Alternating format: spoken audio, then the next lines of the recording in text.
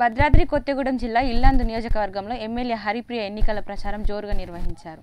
ప్రచారంలో భాగంగా ఇల్లందు మండలం కొమరారం పోచారం తాండ గ్రామాల్లో స్థానికుల నుంచి హరిప్రియకు నిరసన ఎదురైంది. కేవలం గులాబీ కండువలకు వేసుకున్న వారికే బీసీ బంధు ఇచ్చారని ఆరోపించారు. ఐదేళ్ళుగా ఈ ప్రాంతానికి ఒక్కసారి కూడా రాలేదని నిరసన వ్యక్తం చేస్తూ ప్రచార రథాన్ని అడ్డుకున్నారు. దీంతో నిరసన చేస్తున్న వారికి వరాస నాయకుల మధ్య ఉద్రిక్తత చోటు చేసుకుంది. అనంతరం ప్రచారం కొనసాగింది.